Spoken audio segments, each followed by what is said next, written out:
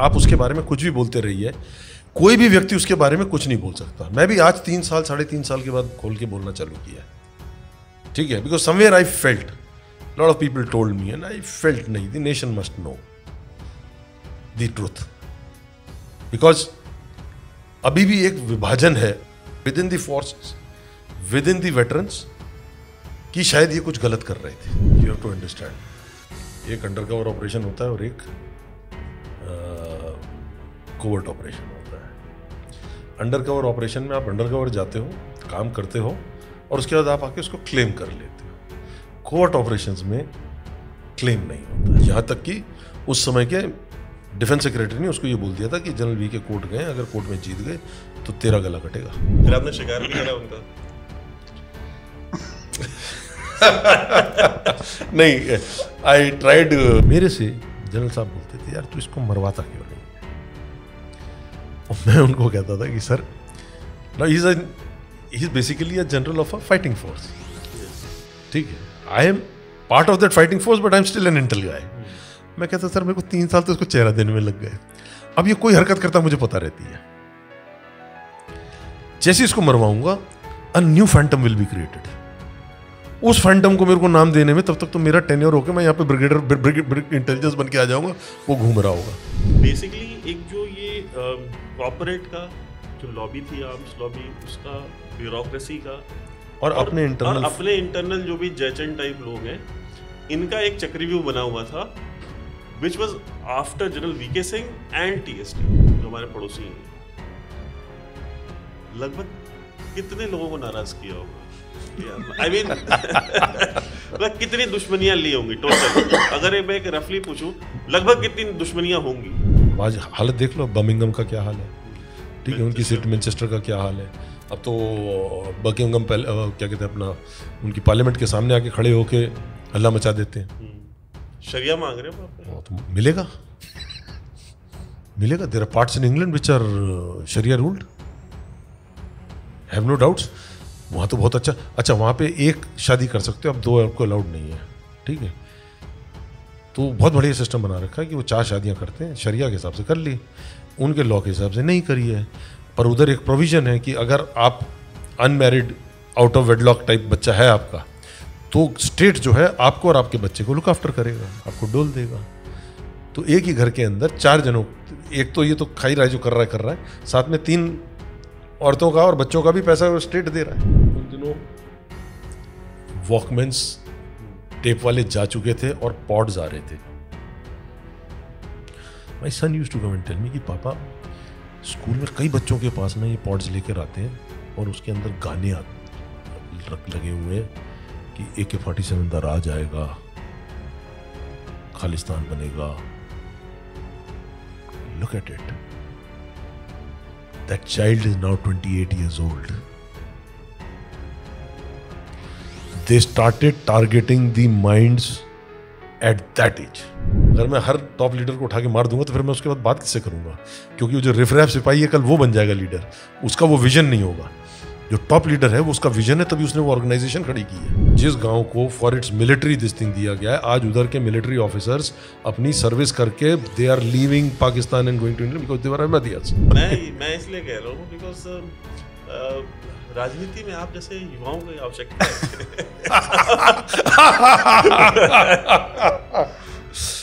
जैन दोस्तों आप देख रहे हैं डिफेंसिव ऑफेंस और मैं हूँ वैभव।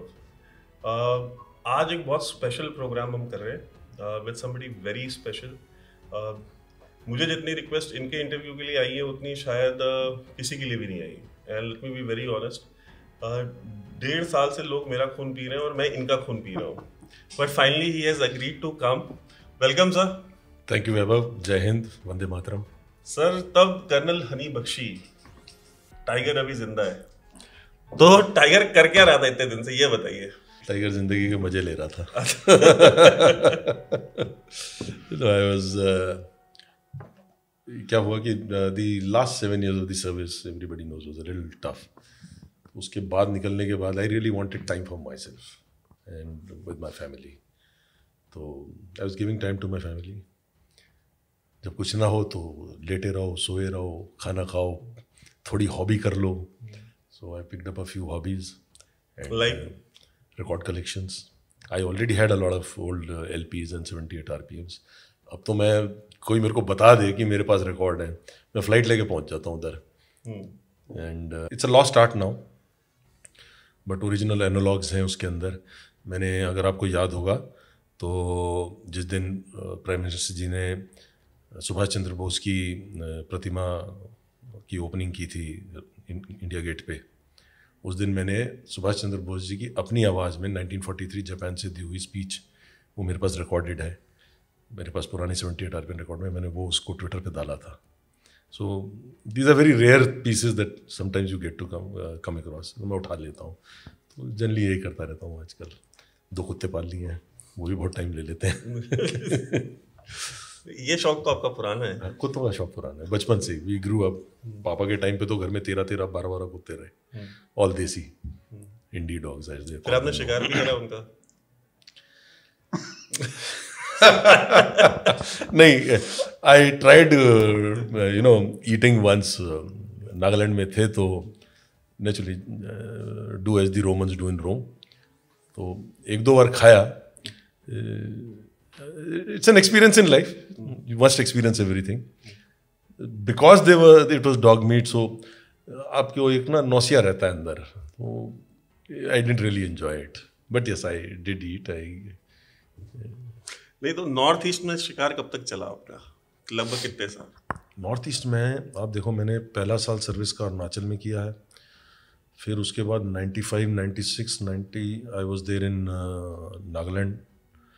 Then 99, 2000, 2001, 2002 again I was in Nagaland Manipur and हाँ 90 1989 I was in Arunachal 1990 beginning I was in जब ये ऑफ़ बजरंग चालू ही हुआ था आई वॉज़ इन असम तो मिज़ोरम छोड़ के मैंने तकरीबन सारे स्टेट्स में नौकरी की है। फिर बाद में I commanded my unit in Calcutta so I was handling the complete of nine states of east तो मेरे को लगता है नॉर्थ ईस्ट क्या कहते हैं ट्रायलॉजी मेरे को भी लिखनी चाहिए।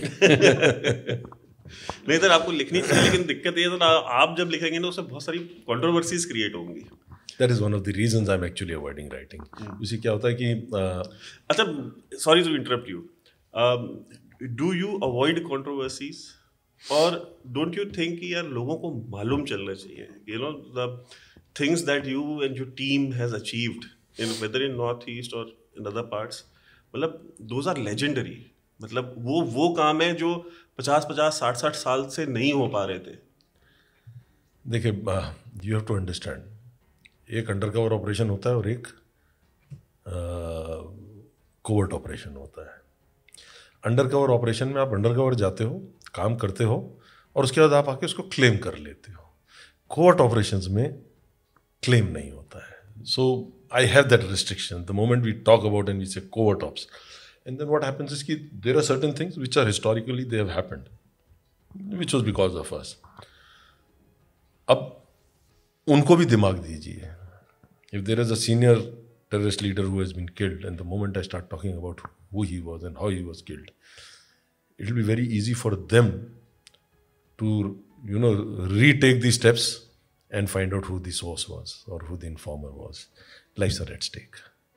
National interest एक तरफ़ है मेरी अपनी वाहवाही एक अलग तरफ़ है but I owe to those informers दो सोर्सेज दो assets whatever name you call them asset is a very American name हम लोग तो इन्फॉर्मर ही कहते थे।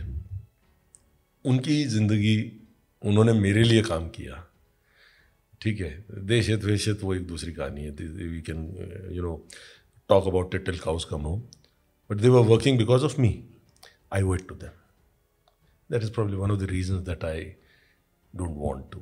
And in any case, when you have used the word covert, can't be spelled out much. Apart from covert, uh, एक बहुत बड़ी controversy खड़ी हुई थी। बहुत से लोगों ने उस समय बात की। उस समय मैं गुड़गांव में था। And I could see a lot of you know army vehicles moving myself during those days तो काफ़ी सारी फौज की गाड़ियाँ जा रही थी आ रही थी। मुझे लगा एक कैजुअल सा एक मूवमेंट है बिकॉज़ दिल्ली कैंट है, मेरठ में कैंट है, इस पूरे एरिया में बहुत सारे मूवमेंट होती रहती है। So but it rang a lot of bells in Delhi और एक सीनियर जर्नलिस्ट ने ये क्लेम कर दिया कि there was a coup d'etat that was being planned Bharat में मार्शल लॉ लगाने की तैयारी डिक्टेटरशिप बनाने की तैयारी, ये मतलब अब वो दंत कथाएँ थी या रियल थी आई मीन बिकॉज़ आर्मी ने तो कभी निकल करके खुद को डिफेंड नहीं किया and army as an institution cannot defend itself वो मीडिया मैनेजमेंट का काम तो नहीं करते। नहीं आर्मी मीडिया मैनेजमेंट का काम करती है। ऐसा नहीं है कि नहीं करती है। We have a full branch called the A D G P I उसके अंदर एक मेजर जनरल बैठा है। ब्रिगेडियर साहब है कर्नल साहब है, वो करते हैं। ऐसा नहीं कि नहीं करते हैं। आप उसका टाइमिंग देखिए। द मोमेंट जनरल वी के ये आर्टिकल कब का है? ये मे का आर्टिकल है। थर्टी फ़र्स्ट में general V K Singh was to retire ये जनवरी में क्यों नहीं आया जब ये मूवमेंट हुई? ठीक है। वो ऐसे टाइम पे डाला गया कि it was a convenience for everybody कि वो आदमी बदनाम हो जाए। हम भी तो जो हिट हुए हम लोगों की ईगो उसके चक्कर में तो हिट हुए। ठीक है? तो जनरली क्या होता है कि हम लोग हर साल we do have our own exercise every country has it ठीक है? कुछ पेपर पे होती हैं, कुछ सैंड मॉडल पे होती हैं, कुछ रियल टाइम होती हैं। Certain exercises happen on the sand model एक एक्सरसाइज है। उसके अंदर किसी ने कह दिया कि साहब, इधर से इधर तक ट्रुप मूवमेंट करनी होगी। अगर ये इमरजेंसी आती है एक सिचुएशन वॉज़ क्रिएटेड तो किसी ने बोला, जी, कितना टाइम लगेगा?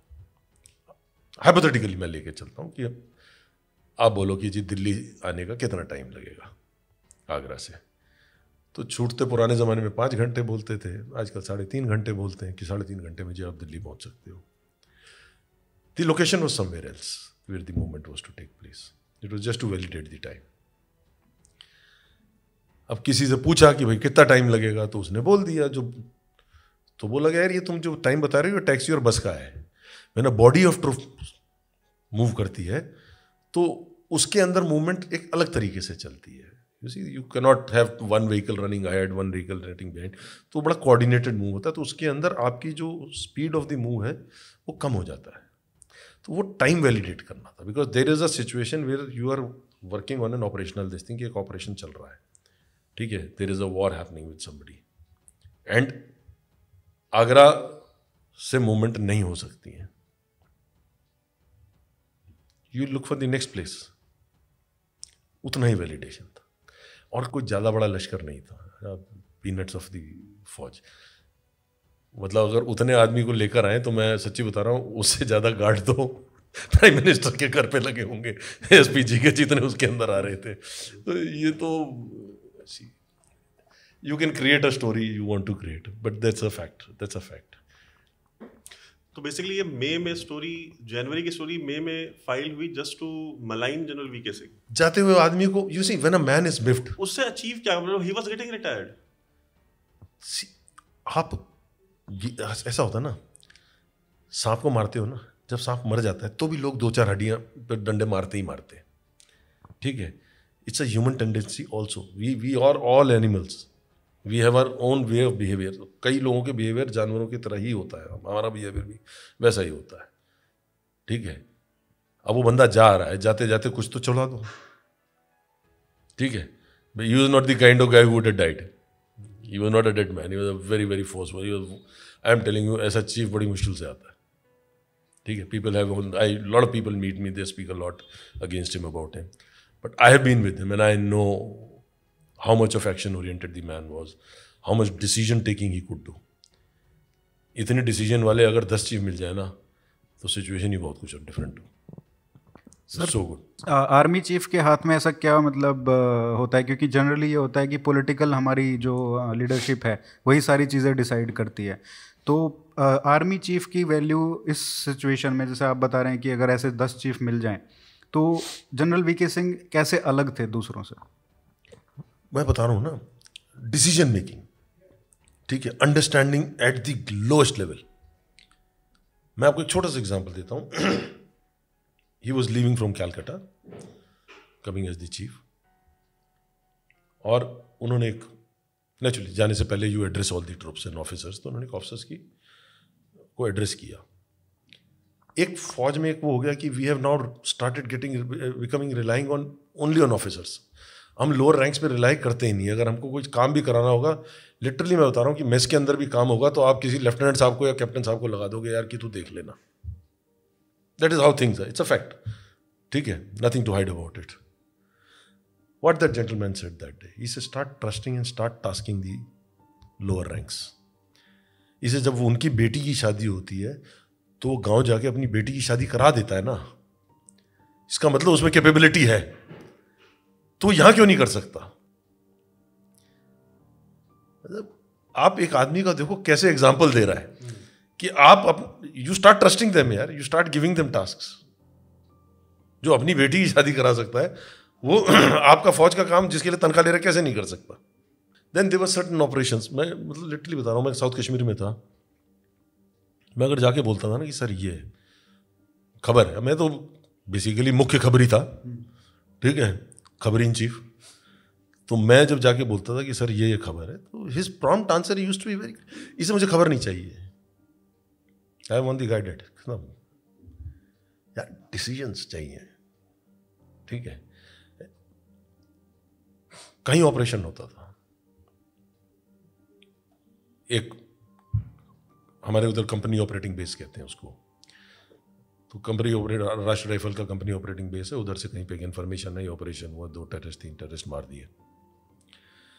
यू नो उस बच्चे को, उस ऑफिसर को यंग ऑफिसर है एवरीबडी वॉन्ट्स वेलिडेशन ठीक है? अब उसके लिए क्या है? मेजर साहब कैप्टन साहब के लिए सीओ बहुत बड़ी चीज़ है, मेजर जनरल जीओसी तो बहुत ही बड़ी चीज़ है।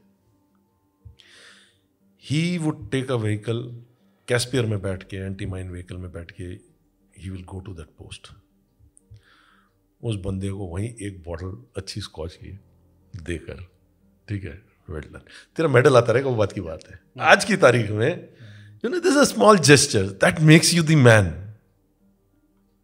ठीक है? Have a cup of tea with the boys जिनके साथ। By the way general weekend ना दारू पीते ना मीट खाते हैं। हम लोग मज़ाक करते थे कि दफ्तर भी पंचांग से चलता है। ठीक है? So you know you are looking for and another beautiful thing know the gentleman was आपसे वो पंद्रह साल पहले मिले होंगे। आप अब मिलिए उनको। He will recognise you by your name हमको याद नहीं रहता। मैं शायद बाहर जाके वैभव भूल जाऊँगा कि यार इस बंदे का नाम क्या था। ही वोंट ये खासकर हम पॉलिटिशियंस के बारे में ज़्यादा सुनते हैं जिसको ये फलाना याद रहता है दिगड़ा लेकिन ये तो आर्मी चीफ के बारे में नहीं नहीं I seen so many times because पार्टियाँ वार्टियाँ होती थी। वो एक कोने में यंगस्टर खड़ा हुआ है। काम इनसे और दीपक कैसा है?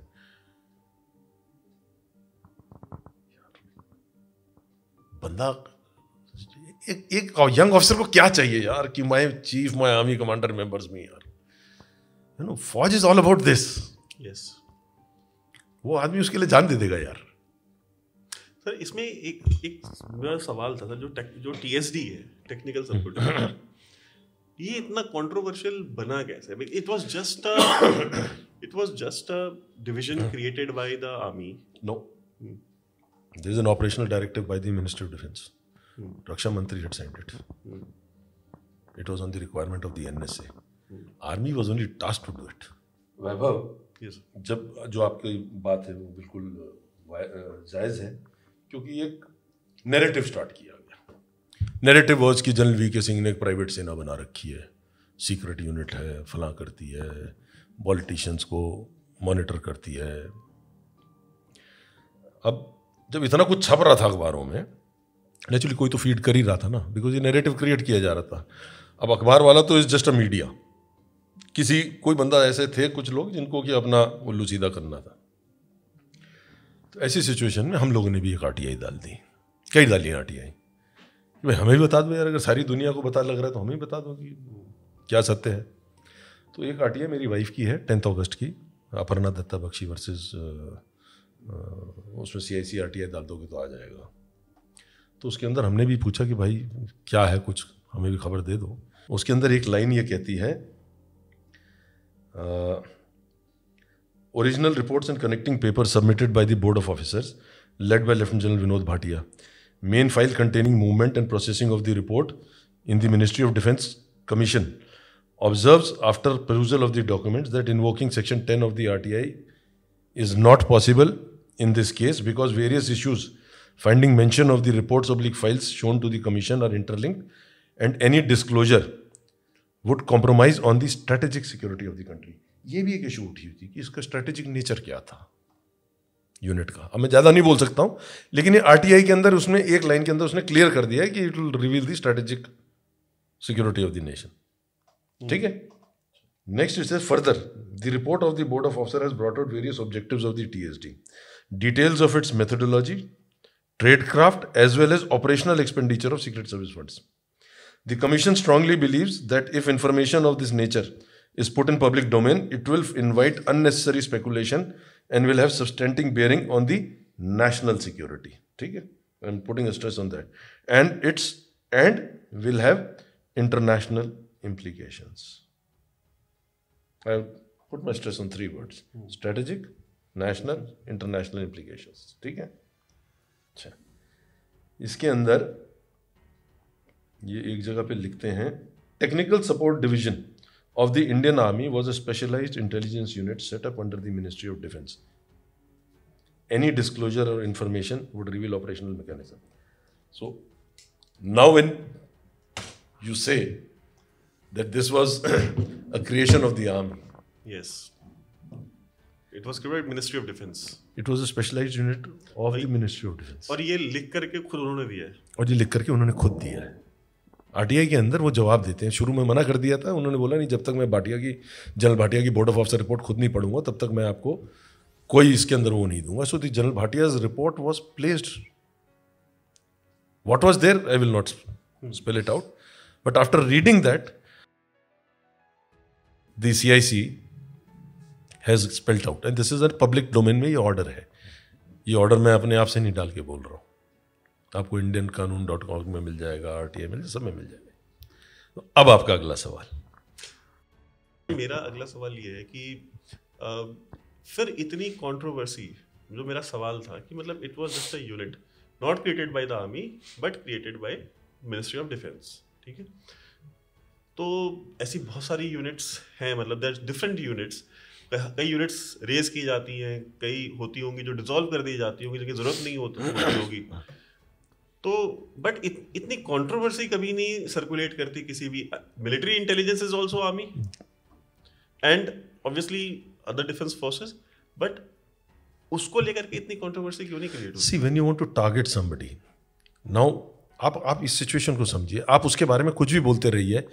कोई भी व्यक्ति उसके बारे में कुछ नहीं बोल सकता। मैं भी आज तीन साल साढ़े तीन साल के बाद खोल के बोलना चालू किया है। ठीक है? Because somewhere I felt lot of people told me and I felt नहीं the nation must know the truth because अभी भी एक विभाजन है within the forces within कि शायद ये कुछ गलत कर रहे थे। मैंने इस ब्लेम के साथ अगले तीस साल, चालीस साल गॉड में विलिंग सौ साल जीव में I will have to live with this I need to clarify it it's it's for my conscience that the nation should also know मैं आराम से रिटायर होके गायब हो सकता था। सोचा भी कुछ दिन गायब रहूँगा। लेकिन मुझे लगा, नहीं time that people should know I will not reveal anything that can affect the national security international implication whatever it is but yes जो कहानी है वो ये है। और ये सिर्फ़ कुछ गुटबाजी हुई। गुटबाजी इस बात के लिए हुई कि आर्म्स लॉबी में लोग डिस्कम्फर्ट में आ गए। ठीक है? कुछ, मैं नाम नहीं लूँगा, लेकिन there was a joint secretary in the MOD who was leaking all this ठीक है? Because he was the most affected यहाँ तक कि उस समय के डिफेंस सेक्रेटरी ने उसको ये बोल दिया था कि जनरल वी के कोर्ट गए, अगर कोर्ट में जीत गए तो तेरा गला कटेगा। वो कोर्ट ने भी क्या डिसीज़न दी? कोई डिसीज़न नहीं दी। कोर्ट ने बोला आप अपना केस विड्रॉ कर लीजिए। नहीं तो हम आपके खिलाफ ऐसी कोई जजमेंट दे देंगे जो आपको ठीक नहीं लगेगी.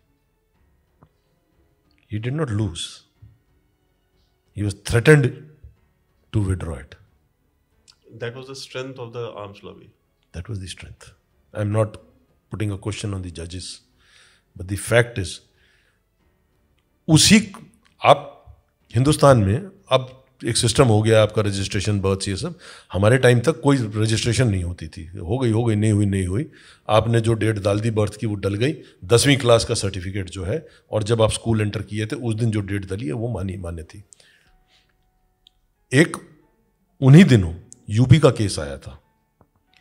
एक लड़के, बंदे ने मर्डर कर दिया था। ठीक है? Go into the religion और माइनॉरिटी और I will not get into that तो यूपी पुलिस ने उसका एक मेडिकल बोर्ड कराया और उसकी उम्र उनके हिसाब से 22 साल थी। ये जजमेंट है। उसके हिसाब से 22 साल थी। उसकी माँ जो है, वो कोर्ट में गई और करते करते सुप्रीम कोर्ट तक पहुँची कि मेरा बेटा माइनर था। दसवीं क्लास में इसका ये डेट दली हुई है। ठीक है? और सुप्रीम कोर्ट ने यह कहा कि यदि इसका स्कूल एंट्रेंस के टाइम रजिस्टर में डेट ना होती या दसवीं के बोर्ड एग्ज़ाम की डेट ना होती और कोई और ऐसा सर्टिफिकेट ना होता, तब आप इसका मेडिकल बोर्ड करा सकते हो। उसकी बोन डेंसिटी और वो उससे कि इसकी एज क्या है। आपने उधर एक मर्डरर को माइनर डिक्लेयर कर दिया based on a class ten certificate इधर एक आपका चीफ है आर्मी का जो कि इंस्टीट्यूशन है। आप वही कोर्ट उसके ऊपर जजमेंट देने को राज़ी नहीं है। वो कह रहा मेरी टेंथ के सर्टिफिकेट में ये डेट है। सर क्या मेन प्रॉब्लम इन लोगों की जनरल वीके सिंह से सी थी और उसी की वजह से टीएसडी भेंट चढ़ गई? टीएसडी भेंट चढ़ गई इस चक्कर में। ये भी सत्य है। क्या उनको ये मतलब लग रहा था कि ये अपोजिशन जैसे पॉलिटिशियन अपोजिशन बीजेपी के साथ हैं या उस टाइम पे काफ़ी आंदोलन भी चल रहे थे अन्ना का आंदोलन था? आ, नहीं उसके कारण नहीं। उसके, उसके उनको उसके कुछ उस टाइम पे तो शायद उनका कुछ था भी नहीं एक्टिविटी कुछ भी। आप अगर देखो तो मार्च 2012 के बाद से things started slowing down because there was no मतलब क्लियर हो गया था कि अब the chief will change the next two chiefs were little very उनको लगता था कि ये chain of line chain of succession जो है वो तोड़ने की कोशिश करेंगे। ठीक है? कर रहे हैं तो इसलिए था। इशूज थी इनकी अपन इंटरनल जो भी थी।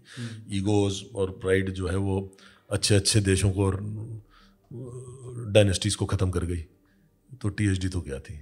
उसके बाद सर फिर सात साल आपकी ट्रायल चली। उसके बाद 2018 में शायद क्लियरेंस उन्नीस अट्ठारह में तो क्लियर हुआ मार्च में, लेकिन उसके बाद भी लॉबी इतनी स्ट्रांग थी कि उन्होंने उसके बाद रातों रात जो डी जैक सेंट्रल अपना वेस्टर्न कमांड था, इधर मेरा कोर्ट मार्शल गिरा है and the basis of the court martial was कि we do not have the jurisdiction to try something called a plain jurisdiction उसके ऊपर वो गिर गया। मैंने कुछ इश्यूज़ उठाई थी, उसके ऊपर वो एक्सेप्ट हो गया। हफ़्ते दस दिन के अंदर, जैग जो एडवाइज़र होता है ठीक है कोर्ट मार्शल्स और इन सब के ऊपर डिसिप्लिन के ऊपर। उसकी पोस्टिंग हो गई, नया वाला लाया गया। ये नया वाला वो था जो एज अ कर्नल जिसने मेरे अगेंस्ट कोर्ट मार्शल की रिकमेंडेशन डाली थी, ठीक है? और उसने आते साथ ही बारह पेज की। और मैं ठोक के कह रहा हूँ, जब मैंने तब बता सकता था कि मेरी कोर्ट ऑफ़ इंक्वायरी में से कितने कागज़ गायब हैं। ठीक है तो मैं आज बता रहा हूँ बारह पेज की उसने एक मेरी रिकमेंडेशन लिखी for dismissal from service on administrative grounds बारह पेजेस उसने सिर्फ़ रीजंस लिखे why you should be administratively dismiss from the service sir I know you मैं आपके ऊपर तीन बंदे नहीं लिख सकता। मतलब तारीफ़ में भी नहीं लिख सकता मतलब बुराई ठीक है और बारह पेज में उसने हर पॉइंट को खुद ही काटा है। अच्छा। ठीक है वो तो समय अच्छा था people changed so when the advice went to the convening authority उस कन्वीनिंग अथॉरिटी ने बोल दिया we don't accept your advice और केस खत्म हो गया नहीं तो तुमने कोई कोशिश छोड़ी नहीं थी उसको भी करने में एक साल निकल गया तो सर ये बेसिकली एक जो ये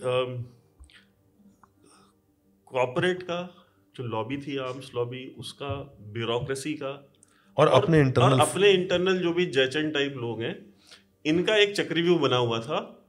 Which was after general VK Singh and T S T और like not only VK Singh मतलब वीके सिंह से जुड़ी हुई जितनी भी चीज़ें हर चीज़ के पीछे होंगे फिर अब आप ये देखो ना मेरे को एक थ्रेट आई। ठीक है? Again as I say I was down I was not dead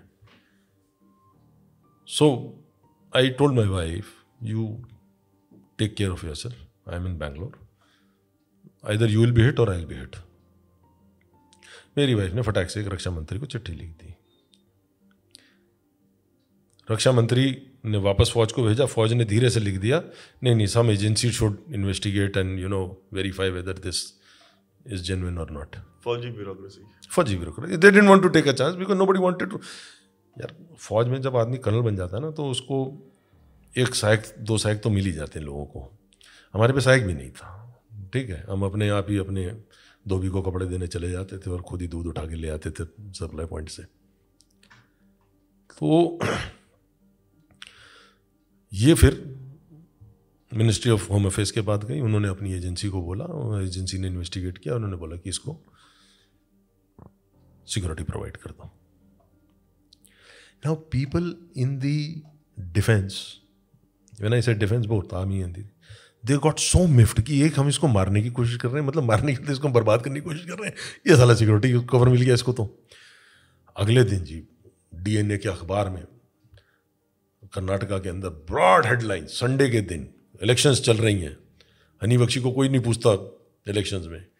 Now article comes and the article the way it is spelled it talks about you know how much miffed the people were why a colonel in Bangalore be provided security twenty four seven और जो journalist है दो अब अच्छा दोस्त है वो उसके अंदर एक लाइन और ऐड करता no these are lines words given by the P I I know who that know who that ब्रिगेडियर वॉज़ ठीक है? वन कर्नल इज़ सेइंग कि हमने भी तो कश्मीर में काम किया है तो हमें भी तो सिक्योरिटी मिलनी चाहिए ऐसे तो। ठीक है? मतलब दैट काइंड ऑफ़ टोन लिख दिया जी कि ये कब्बन रोड पे इसका ऑफ़िस है। आप पूरी लोकेशन सब डाल दीजिए public information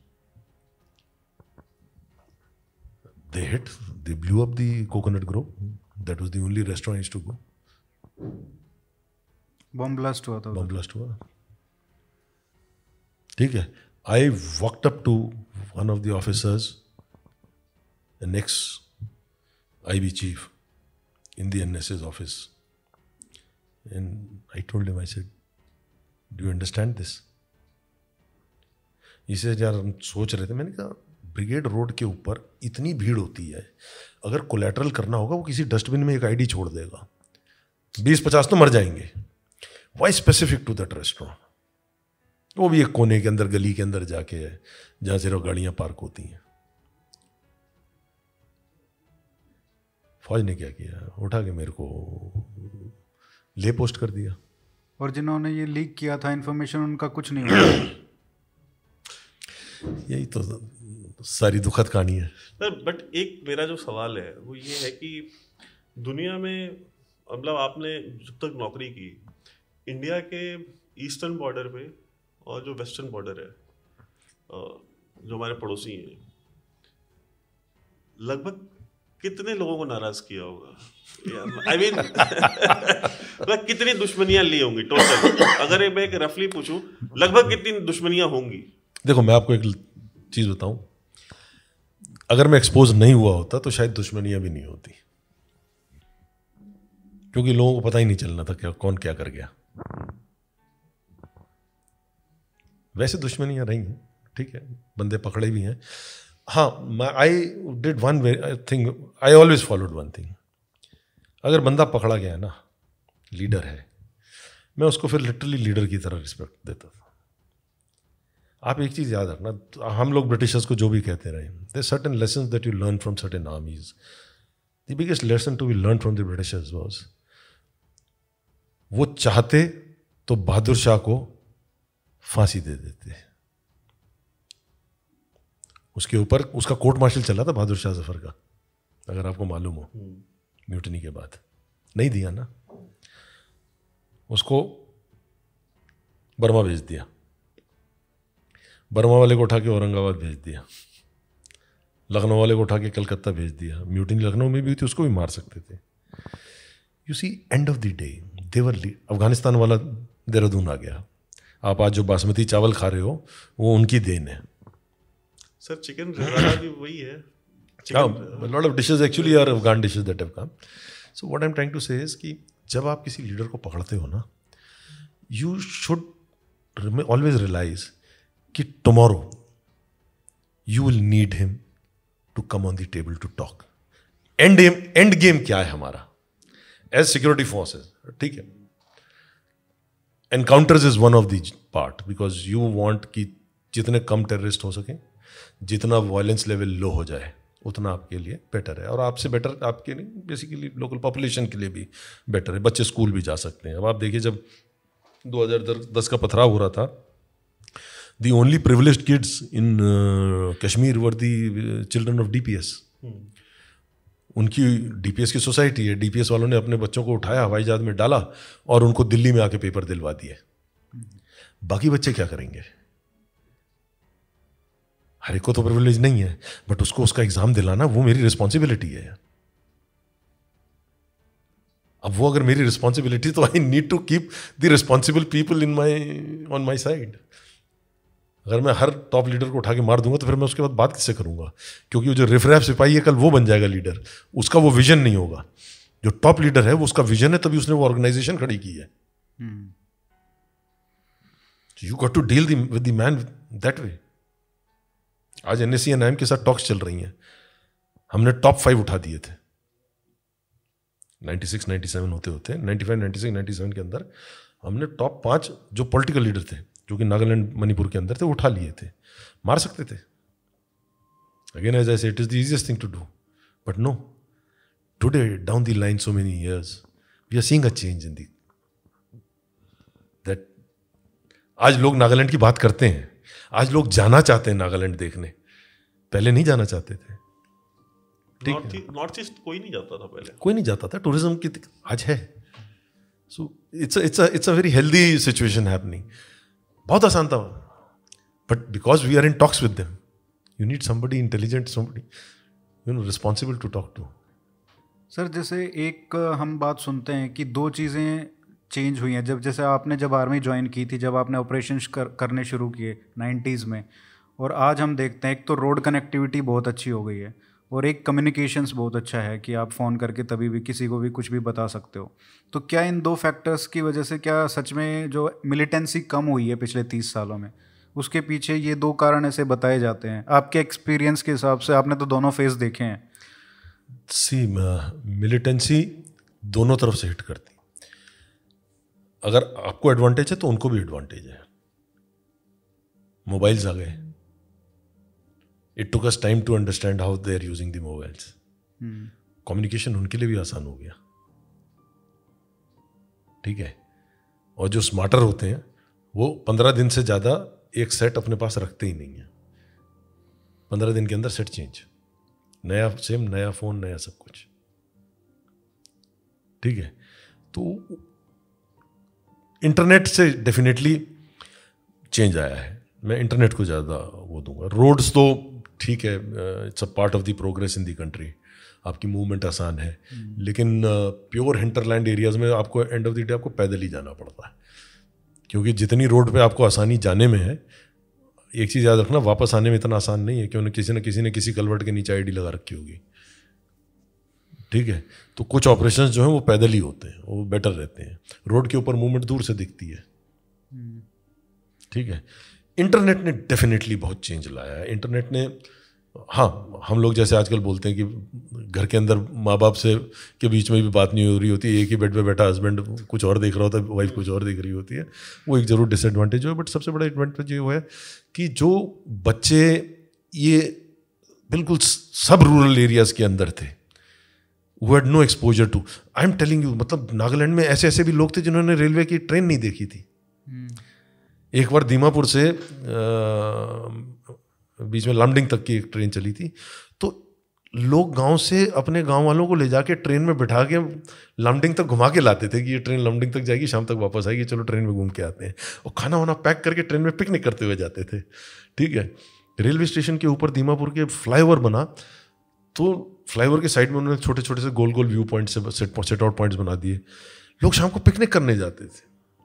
फ्रॉम दैट आज वही बच्चा बैठा हुआ लंदन ऑस्ट्रिया हंगरी वो इंटरनेट पे देख रहा है। He seeing how the world is changing and it is a peer pressure now वो देख रहा है कि उसके पास ये है तो मेरे पास क्यों नहीं? है and is things are changing अब मैं, जैसे I travel a lot I go to Bombay Mumbai I go to Goa I go to lot now you see lot of Naga children north easterners when you joined army तब बॉम्बे ही था।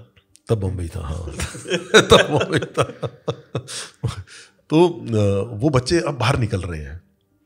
They getting expose in fact कभी कभी दिल बहुत दुखता है सच्ची बताऊँ मैं। जब हम लोग मैंने ऐसे हम लोग बेंगलोर के अंदर अब उनका एक कल्चर है यार ठीक है।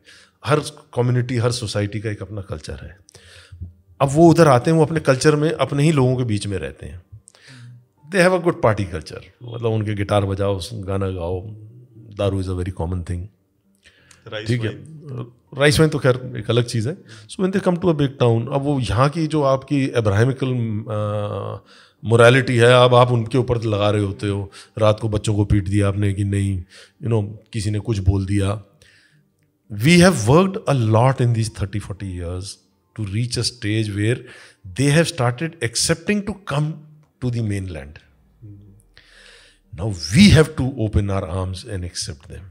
अगर हम उनको बार बार ये रियलाइज़ करते रहेंगे, नहीं, आप अलग हो तो वी हैव लॉस्ट इट इतनी इतनी जो एफर्ट हुई है, इतनी जो लोगों, इतना सरकार का पैसा लगा है, इतने हम लोगों की फौज वालों की जाने गई हैं all just to finally reach a place where we all stay together we all you know feel that we are part of the same nation it was so wonderful this time to see that young girl uh, playing jangan man on the guitar ठीक है hornbill के अंदर it has taken lot of efforts to reach there it's actually taken a lot of efforts to reach there उसके अंदर बहुत लोगों की sacrifices हैं और सर आपकी अलग खुशी दिख रही है इस इसमें जो आप ट्रांसफॉर्मेशन देख रहे हो actually I I am telling you I I have lived with them such good human souls ठीक है यार उनका एक कल्चर है वो कल्चर छोड़ दो आप। ठीक है but they are very good people very wonderful people आप एक और एक्सेप्ट हो जाओ उधर as in the society I am telling मेरा सेकंड टेन्योर मुझे पता ही नहीं लगा कैसे कट गया यार। ढाई साल मैंने कैसे निकाल दिया पता ही नहीं लगा। Sir but you have seen the seen days of Kashmir. Um, you have seen the troubled days of Northeast. उस टाइम पे सर एक दो नज़रिया होता है एक किसी भी कॉन्फ्लिक्ट जोन को देखने का। एक होता है मतलब फौज की बात कर रहा हूँ या जो स्टेट होती है स्टेट की बात कर रहा हूँ। स्टेट दो नज़रिए से देखती है। एक तो जो सोल्जर ऑपरेशंस कर रहा होता है, जो आप मतलब एंटी टेरर ऑप्स कर रहे हो और आप कुछ ब्लॉकेजेस है आप वो हटा रहे हो। बहुत सारी प्रॉब्लम्स होती हैं कॉन्फ्लिक्ट जोन में। तो you go through all that you deal with it एक होता है जो सीक्रेट uh, सर्विस का होता है। जो इंटेल का जो एक फ़ील्ड होता है वो एक अलग ही वॉर जोन है जो इंटेल वाली है। अ, उनका दोनों का सर सेम कॉन्फ्लिक्ट को देखने का अलग अलग नज़रिया हो जाता है। एक जो सोल्जर लड़ रहा होता है वो एक त, एक नज़रिए से उस चीज़ को उसको उसके उसका सोल्यूशन पूछेंगे तो वो सोल्यूशन कुछ और है उसके दिमाग में। बट अगर आप एक इंटेल जो ऑफिसर है उससे पूछेंगे तो उसकी नज़र में उसका सोल्यूशन कुछ और है। सी तो आई अंडरस्टूड योर पॉइंट हाँ तो आपका एज अ इंटेल ऑफिसर आपका क्या था उसका पूरा और वो जो चेंज है उसको आप कैसे देखते हैं? मैं आपको एक सिंपल तरीके से बताता हूँ। ह्यूमन बॉडी है। ठीक है। हर एक का अपना रोल है। ब्रेन का अपना रोल है, हाथ का अपना रोल है। ठीक है? अगर मेरे यहाँ पे चोट लगेगी ब्लीडिंग चालू होगी तो मेरी बॉडी वाइट ब्लड सेल्स उधर दौड़ाएगी। उसको ब्लड को रोकने के लिए और कोई इन्फेक्शन ना आ जाए, उसको रोकने के लिए। सिमिलरली ये दोनों चीज़ें साथ साथ चलती हैं। आपका जो सोल्जर है उसका पर्सपेक्टिव उतना ही है जितना उसको टास्क दिया गया है। पूरे दिन कोई वॉलेंस नहीं होना चाहिए। उसके एरिया के अंदर अगर कोई रोड है वो रोड के ऊपर कोई आईडी नहीं लगनी चाहिए कोई अटैक नहीं होना चाहिए। उसके सीओबी के अंदर अगर से तीस गाँव हैं या पच्चीस गाँव हैं उसके अंदर ही शुड इंश्योर दैट कि कोई किडनैपिंग ना हो। ठीक है? He has to dominate that area वो उसका रोल है। साइड बाय साइड अब इंटेल वाला है, जैसे I give you an example one of my GOCs होते very fine gentleman again very well read person हमारे इलाके में बहुत बड़ा ऑर्गेनाइजेशन का एक बहुत बड़ा कमांडर था। तीन साल लगे मुझको उस आदमी को चेहरा देने में कि ये बंदा है। ठीक है?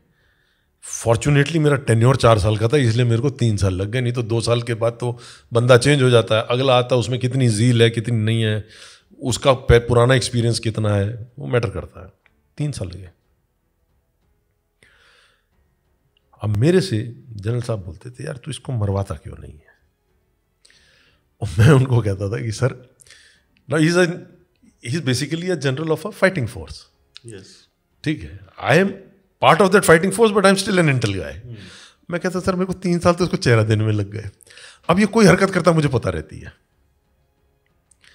जैसे इसको मरवाऊँगा a new phantom will be created उस फैंटम को मेरे को नाम देने में तब तक तो मेरा टेन्योर होकर मैं यहाँ पे ब्रिगेडर इंटेलिजेंस बन के आ जाऊँगा, वो घूम रहा होगा।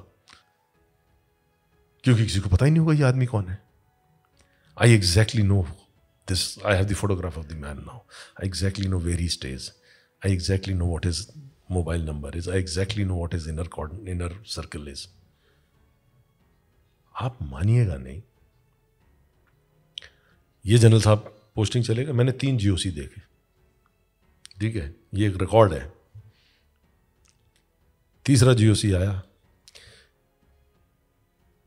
आई वेंट ऑन लीव अब पीछे से मतलब क्या होता है कि शाम को ब्रीफिंग होती है, अगर कोई आके बोल भी जाए ना कि, सर, उसके पास खबर है तो मैं ब्लॉक कर देता था। मेरे पीछे से उसको मरवा दिया। उस मारामारी में एक स्पेशल फोर्सेस का ऑफिसर भी मारा गया। मिला क्या? I have to start from the scratch तो वो एक नज़रिए वाली बात है। For somebody it is achievement कि मैंने मार दिया। उसके रिकॉर्ड में आ जाता है कि जी मैंने एक डिविजनल कमांडर मार दिया या मैंने एक यू नो मेरे रिकॉर्ड में कहानी खत्म। नहीं सर जो मेरा सर सवाल था वो प्रिसाइजली यही था कि क्योंकि एक जो कैप्टन होता है वो एक तरीके से एक वॉर लड़ रहा होता है। एक जनरल जो होता है वो उसी वॉर को दूसरे तरीके से लड़ रहा होता, होता है।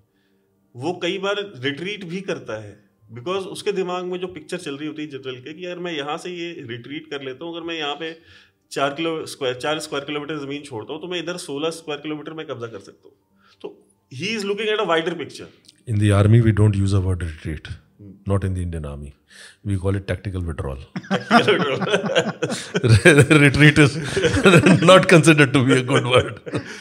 And ये मैं जनरल टाइनी ढिलो का इंटरव्यू कर रहा था आज से दो महीने पहले। तो he also pointed it out to me कि यार वो हमारी जो ट्रेनिंग होती है ना उसमें वो सिखलाई में शामिल ही नहीं है। एक्चुअली शामिल नहीं है। हाँ क्या जबकि दुनिया भर में आप जाओगे ना तो ये वाला मैंने देखा नहीं इंटरव्यू हाँ मैं मैं शेयर करूँगा आपके साथ। हाँ, सेट हाँ। यार दुनिया भर में आप जाते हो ना तो यूरोप में या नॉर्थ अमेरिका में वहाँ पे जो आर्मी कॉलेजेस हैं वहाँ पे सिखाते हैं ये। हाँ।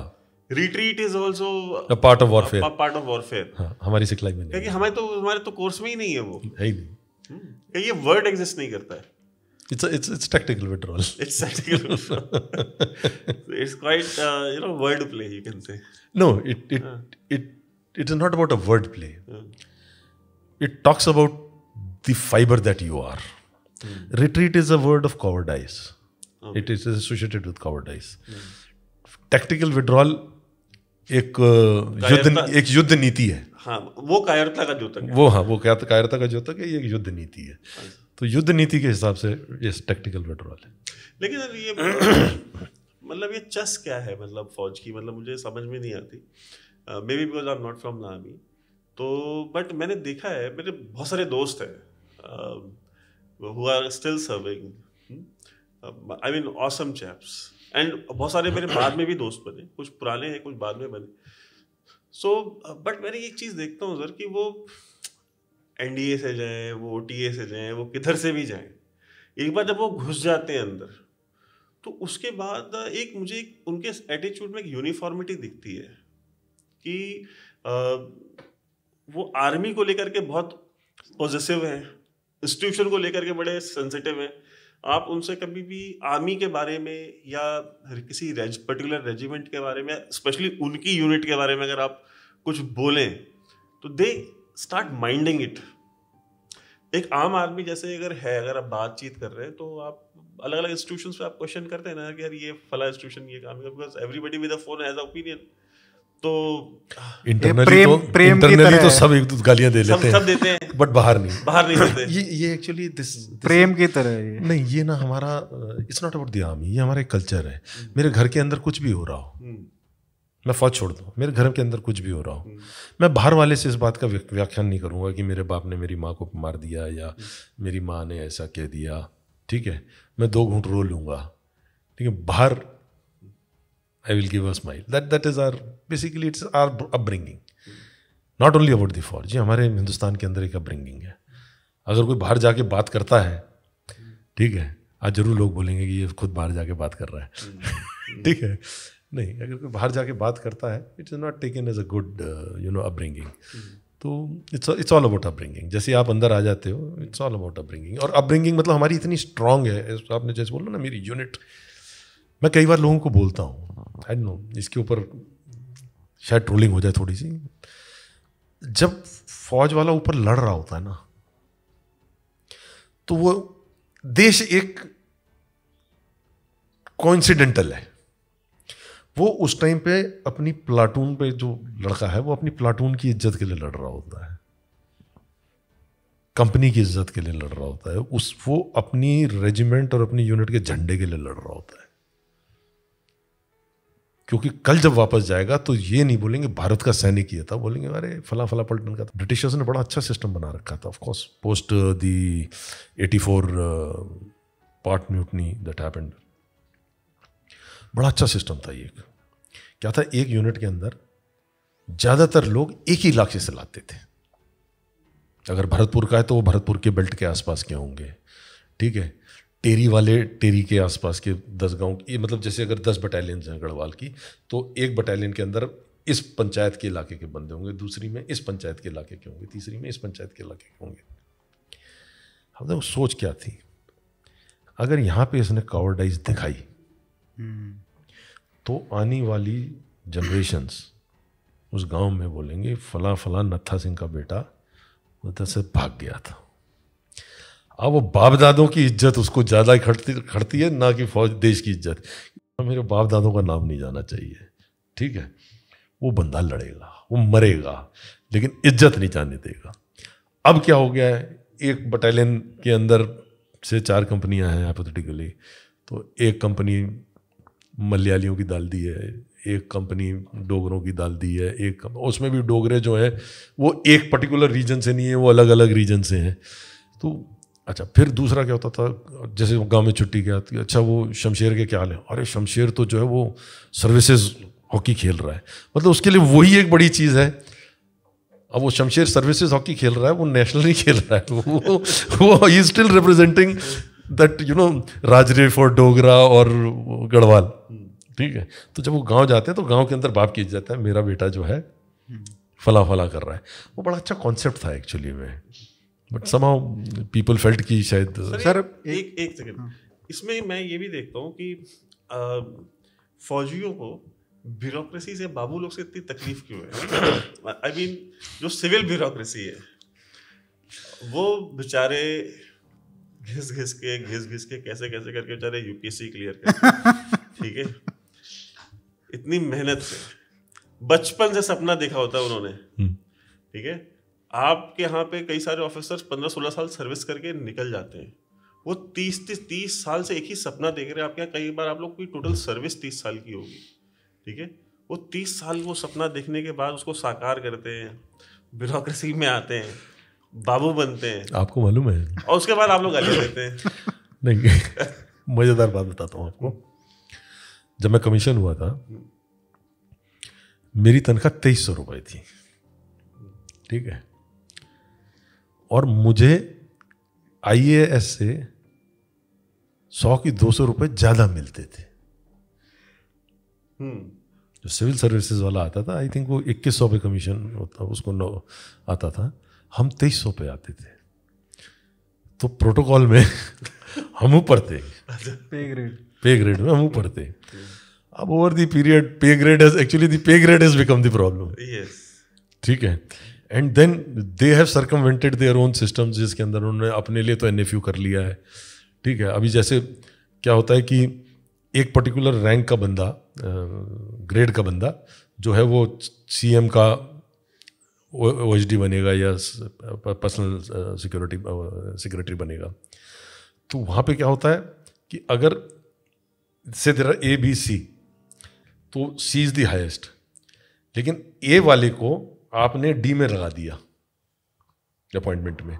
तो ये जितने बी सी वाले हैं ना इनको भी डी की तनख्वाह मिलेगी। उसकी ग्रेड मिलेगी। बिकॉज़ ये from a lower grade has gone on to upper grade तो वहाँ बड़ा अच्छा सिस्टम है वो एक दूसरे को खुश रखते हैं।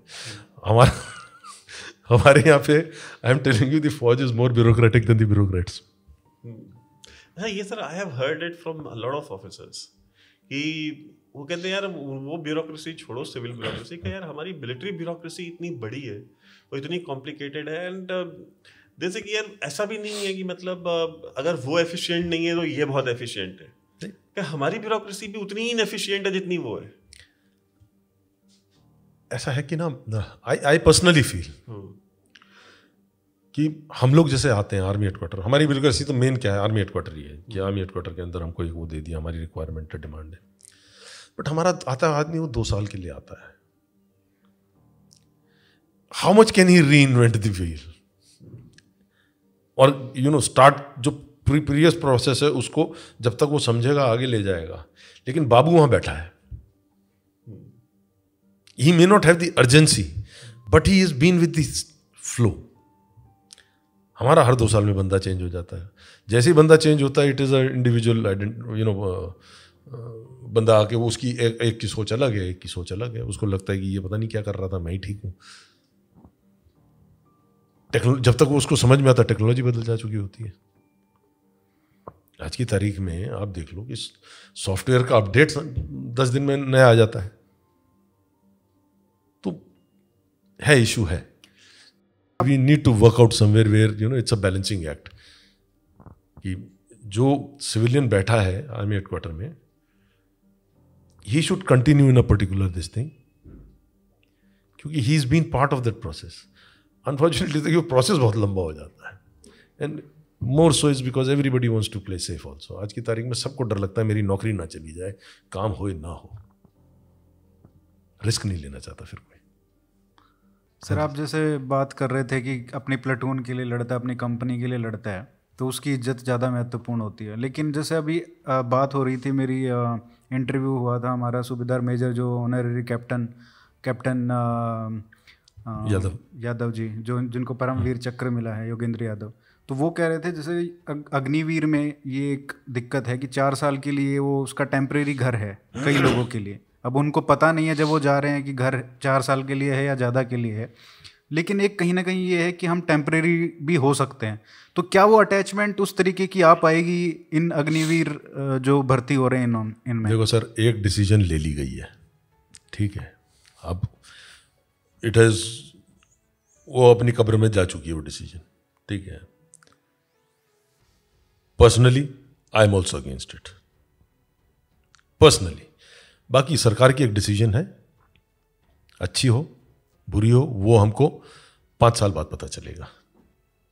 हाँ। As a nation as corporates as business houses how best we accept them in the society after they leave the army अब हमको उस पर विचारना पड़ेगा। इस पर तो विचार हो गया। इस पे एक इन्होंने ठप्पा लगा दिया, कहानी खत्म। अभी अग्निवीर ही होंगे। ठीक है? अब वो कितनी वीरता दिखाते हैं, नहीं दिखाते हैं, वो टाइम बताएगा। इंडिविजुअल पागल हर जगह मिलेंगे। देश हित में मरने वाले हर जगह मिलेंगे। ठीक है?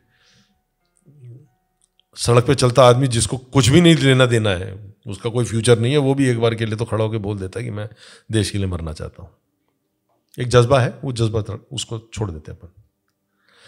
मेरी सबसे बड़ी वो जो है, वो इस टाइम ये है कि ये जितने बड़े बिज़नेस हाउसेज हैं, ठीक है? क्या नाम लें जिंदल्स हो गए, अदानीज हो गए, महिंद्राज हो गए, ठीक है? They are big people now how well they accept them अब वो एक्सेप्शन के एक्सेप्ट के अंदर करने के लिए भी है, क्या आप उनको सिक्योरिटी गाड़ी लेना चाहते हो? क्या आप उसकी जो ट्रेड है उस ट्रेड में उसको आप आगे लगाना चाहते हो? अगर इनको सोसाइटी ने एक्सेप्ट नहीं किया the problem will start then society देखते हैं पाँच साल बाद देखते हैं। बट आपको लगता है कि चार साल की ट्रेनिंग क्या उतना इम्पार्ट कर देती है एक आदमी में कि वो अपने उस तरीके से गलत डायरेक्शन में तो ना जाएगा नौ साल की नौ महीने की ट्रेनिंग में अफसर बन जाता है आदमी ओटीए के थ्रू यार। परमवीर चक्र भी ले जाता है। चार साल की तो ठीक है। मतलब उस हिसाब से देखा जाए तो। ठीक है। अब जो ट्रेन होकर आया है अब अगर उसका जज्बा ठीक है तो लड़ेगा। He still under the army act नहीं करेगा तो कवर्डाइस में जेल जाएगा? सर ये जो एटी फोर के बाद जो शुरू हुआ पंजाब में। और जो ऑपरेशन ब्लू स्टार हुआ उसके बाद सर जो खालिस्तान का एक जो पूरा सर्कल शुरू हुआ, उसकी वजह से पंजाब में बहुत जाने गई, दिल्ली में बहुत जाने गई, और भी पूरे इंडिया में जाने गई हैं उसकी वजह से। So but it's a topic that army does not talk about Operation Blue Star एक ऐसा ऑपरेशन है आर्मी का, जिसके ऊपर मैं जितने भी जनरल से अगर उनसे बात करना चाहूँ ऑफ़ द रिकॉर्ड वो बात कर लेंगे ऑन द रिकॉर्ड कोई नहीं उस पर बात करना चाहता। देखिए यार सेंसिटिव इशू तो है। सेंसिटिव हम्म। इशू तो है। एंड ऑफ़ द डे फौज के अंदर एक बहुत major chunk is from Punjab. Be it Sikhs be it Punjabis ठीक है? और पंजाब के अंदर एक बहुत अच्छा है वो कि जो पंजाबी हिंदू है वो भी गुरुद्वारे में जाता है। ठीक है? एक सेंसिटिविटी तो है उस इशू की ऐसा नहीं है। ठीक है? And it was a task given it was done period कभी कभी हाथ में चोट लगती है तो खुद ही जख्म साफ़ करके अंदर दवाई लगानी पड़ती है। है तो सही। How do you see at the the way it was handled first of all that and secondly उसका जो रिपरकशंस हुए फिर? आई मीन द म्यूटिनी तो नहीं कहेंगे बट छोटे मोटे रिवॉल्ट तो हुए ही थे। But nobody talks about them also and reemergence of that moment today see मैंने कहा ना uh, क्या हम उन पर बात नहीं करके हम उस इशू को सेटल नहीं कर रहे आप एक चीज़ बताओ। चलो इस चीज़ को छोड़ो। मैं सन सैतालीस में जो हुआ I am also part of that product my parents also came from there मेरी माँ कभी कभी बात करती है। एक इतना मेजर चंक है। कभी लोगों ने बात की उसके बारे में। कोई नहीं करता है।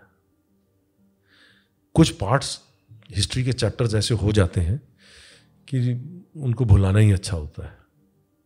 ठीक है? ज़िंदगी नई चालू करनी पड़ती है। हाँ।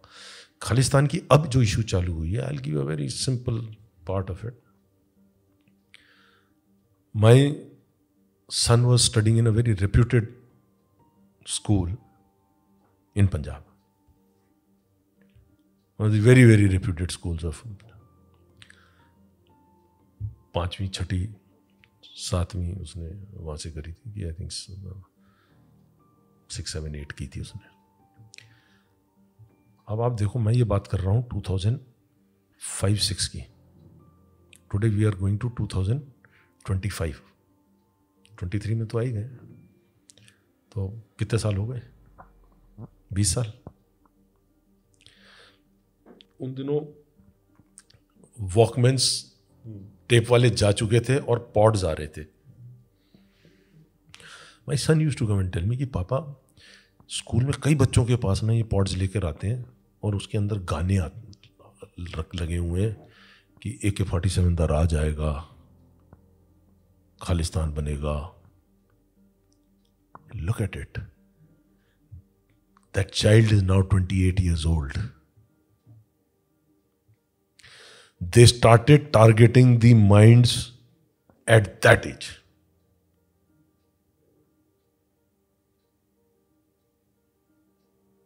अब आज जो रिसर्जेंस हो रहा है उसकी प्लानिंग कब हुई थी? जबकि हम लोग सरकार के अंदर तीन साल की नौकरी के लिए आते हैं एक जगह पे। हुआ तो हुआ नहीं हुआ तो नहीं हुआ। और उन तीन साल में भी हम नब्बे दिन की नौकरी करते हैं। क्योंकि आपका ए सी आर नब्बे दिन में लिखा जाता है। वो नहीं करता है। His his interest are very very long आप वो सोच नहीं सकते जो वो सोच सकता है। आप उसका काउंटर प्लान नहीं बना सकते जो वो प्लान बना चुका है। कैन यू कर बेट और आज की तारीख में इंटरनेट की तारीख में तो यू जस्ट कांट कर बेट कितना कर लोगे आप? And mind you when I say that my child was studying in one of the best schools of Punjab there were kids who are coming from the highest of the families well educated families, well economically well families. उनके parents doctors थे engineers थे ministers थे. आज वो बच्चा rebel है। Sir who are they like आपने बोला कि ये लोग 28 साल 30 my friendly neighbour the Spiderman Pakistan and अभी भी इनका ही प्रोजेक्ट चल रहा है ये खालिस्तान वाला।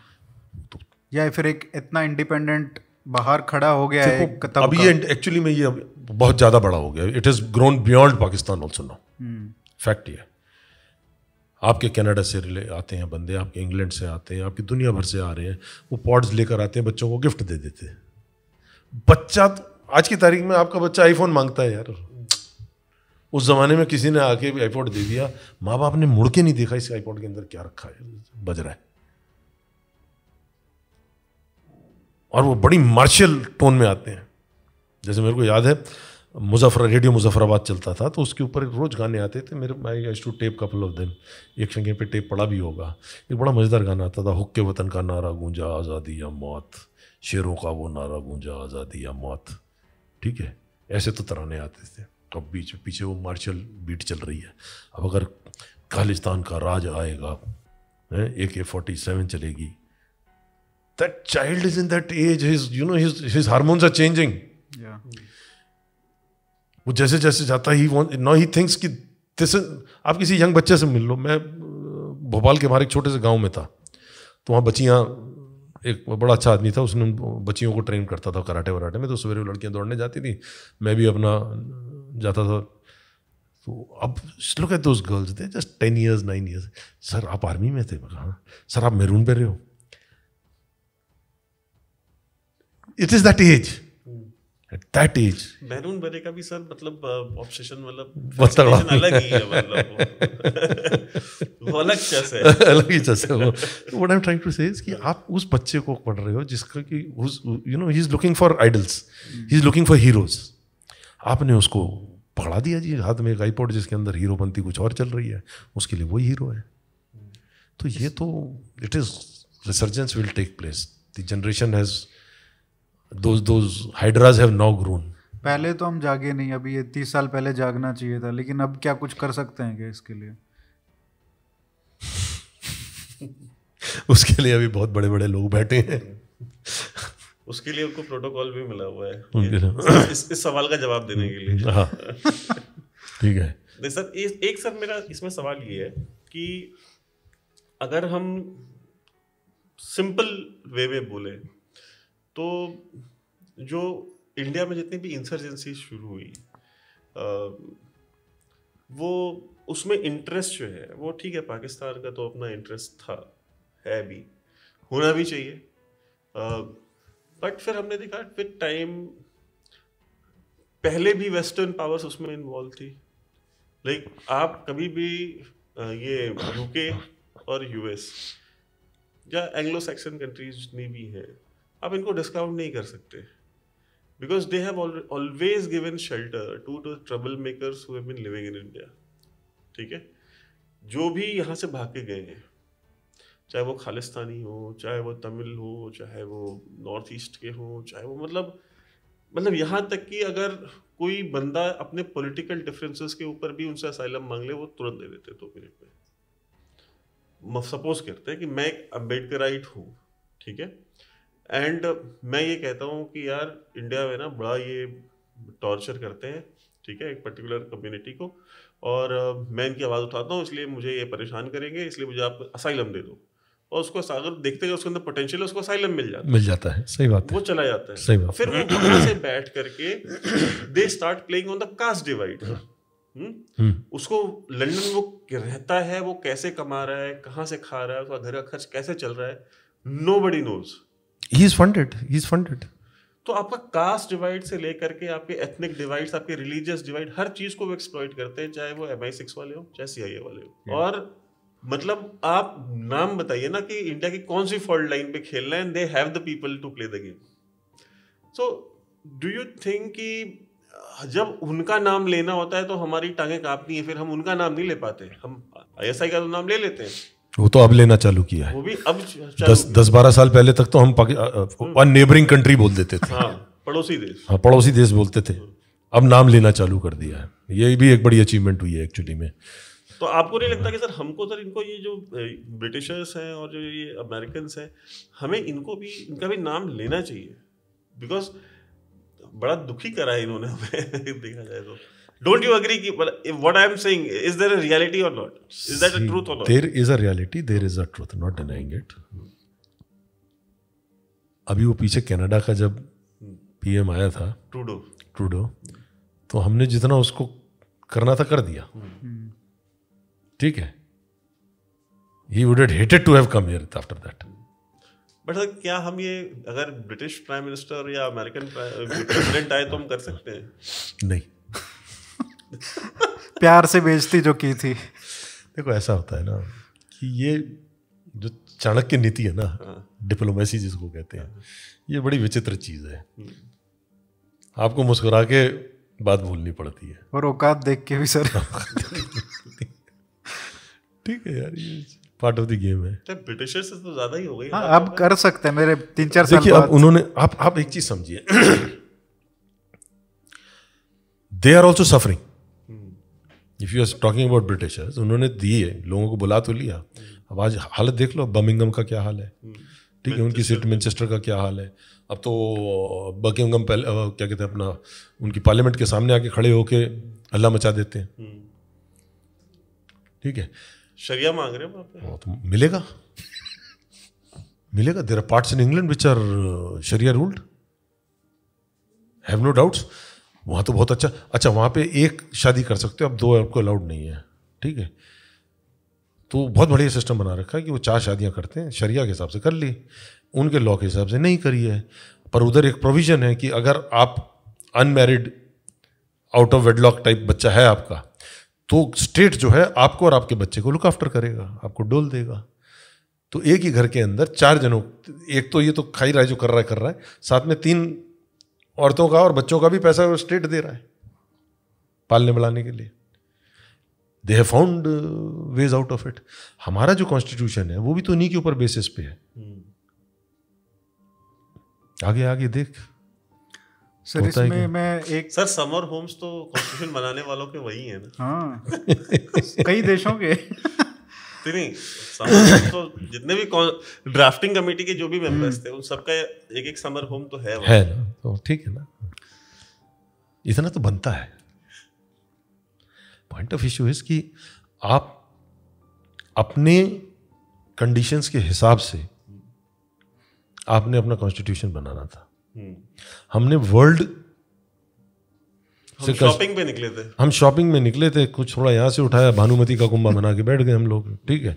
अब भानुमति का कुंभा तो बना लिया। We also made everybody happy कि see we are thinking like you we are not the ancient India that you think the medieval India we are not the modern India विश्व शिष्य। इन द मॉडर्न इंडिया हम तो अभी जब हम जब पहुँचेंगे पहुँचेंगे उस स्टेज में वो तो पहले ही पहुँच गए। Be it France be it England be it US be it Germany be it Sweden ठीक है बिकॉज़ हमने यहीं से उधार लिया था। देखो। पॉलिटिक्स में क्यों नहीं आते आप? ये मेरे बस की बात नहीं है। अरे। I don't want to make any statement like one gentleman who became a CM later but frankly as of now मैं मैं मैं इसलिए कह रहा हूँ बिकॉज़ राजनीति में आप जैसे युवाओं की आवश्यकता है।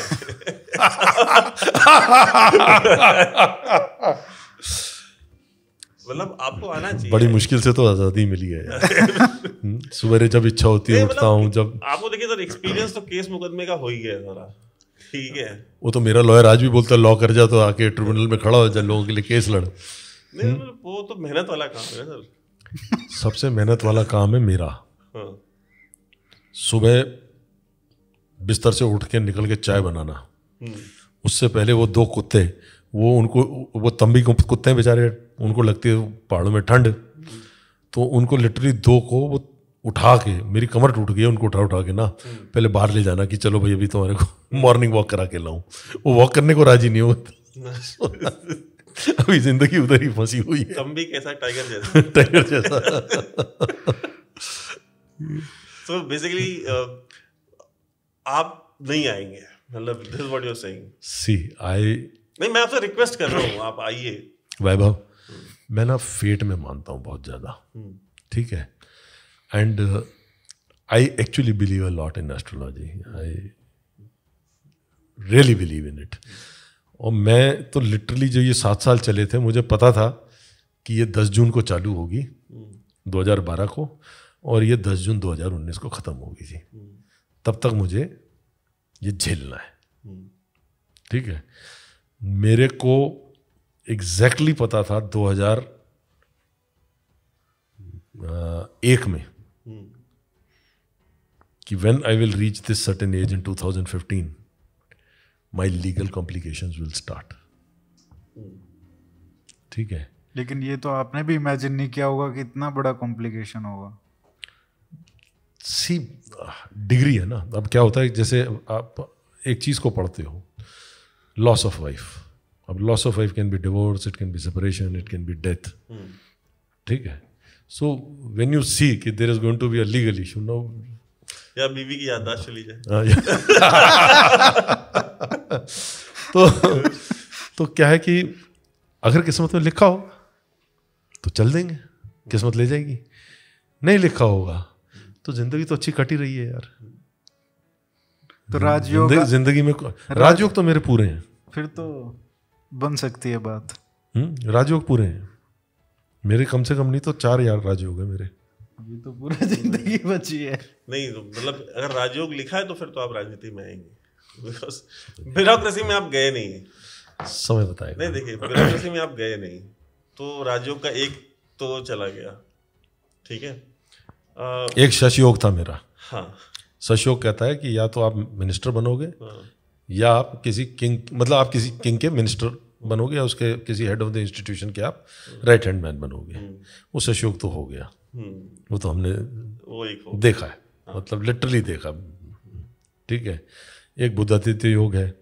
शुक्र की महादशा चली हुई है तो सोच रहा हूँ कुछ पिक्चर विचर बना लेता हूँ। कहानियाँ तो बहुत हैं। हाँ, कहानियाँ तो बहुत हैं। अभी अभी आप अभी आप होके भी आए हैं बॉम्बे? वो तो एक दो दोस्त उनको मिलने जाता हूँ। डायरेक्टर हैं क्या? नहीं नहीं नहीं, एक I make it a point that sometimes once in six months और three months I go and spend some time with Purohit colonel Purohit because old friend I still don't want to believe that he is involve ठीक है? Which is not he. Wasn't because आपको पता चल जाता है आदमी के बारे में तो आई डू गो क्या कर्नल पुरोहित पे अभी भी चल रहा है? कोर्ट केस तो चल ही रहा है ना। अभी भी? कोर्ट केस तो चलेगा ना, जब तक, सी, एक लीगल प्रोसेस चालू हो गया है। It has to find its end ये तो अभी वहाँ पे चल रहा है। जो एग्रीड पार्टी होगी, ठीक है, इसमें तीन तीन होते हैं लोग। एक डिफेंस होता है, एक प्रोसिक्यूशन होता है, एक एग्रीड पार्टी भी होती है, जिसका बच्चा मरा उस ब्लास्ट के अंदर, ठीक है। Frankly I also want to know who involve be it Hindus be it Muslims be it anybody that man needs to be sorted out you they've taken lifes ठीक है? तो वो जो तीसरी पार्टी है जिसका बच्चा बन मरा है, उसका भी तो एक हक है यार।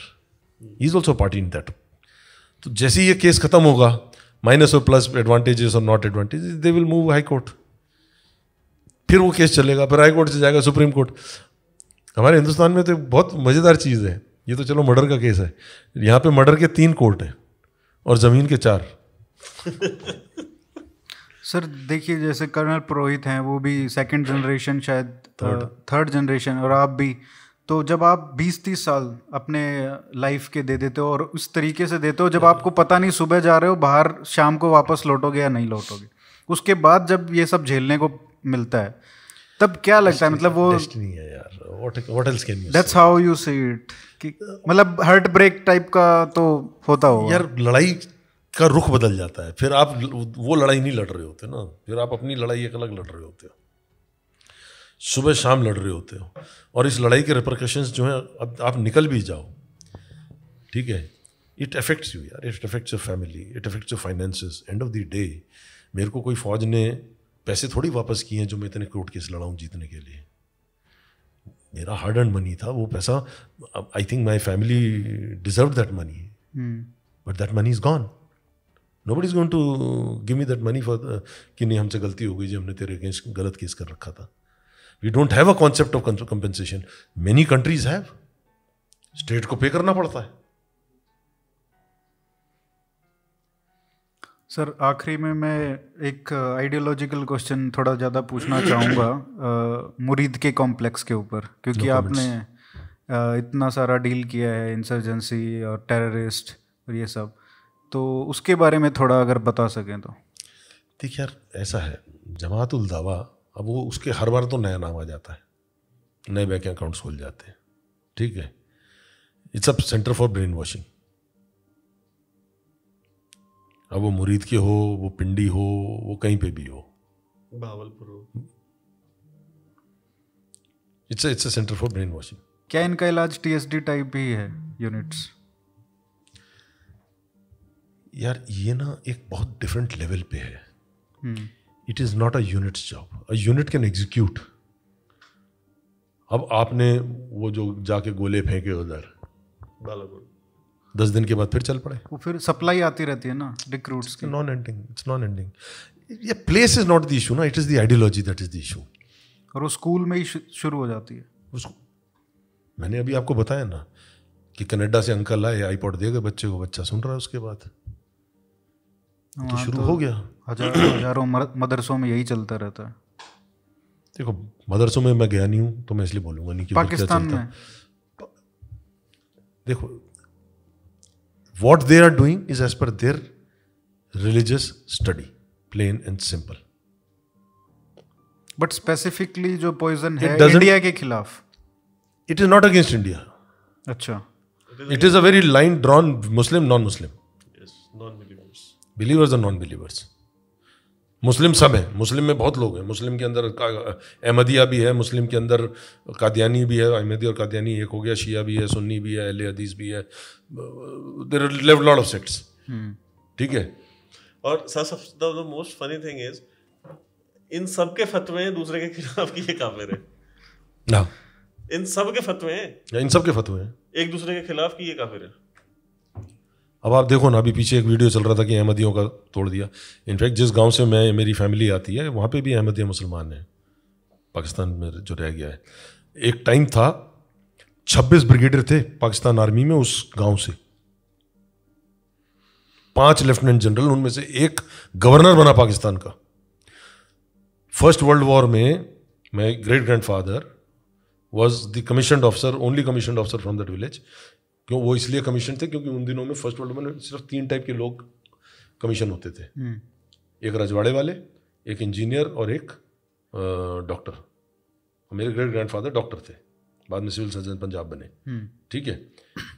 उस गाँव के अंदर इतनी उस गाँव की कंट्रीब्यूशन थी वॉर के अंदर कि ब्रिटिश गवर्नमेंट ने दो गाँव को रिकॉग्नाइज किया जिनके अंदर उन्होंने एक स्कॉटलैंड में और एक हमारे गाँव को तोप दी। अच्छा। उस उसका नाम तोप वाला गाँव है।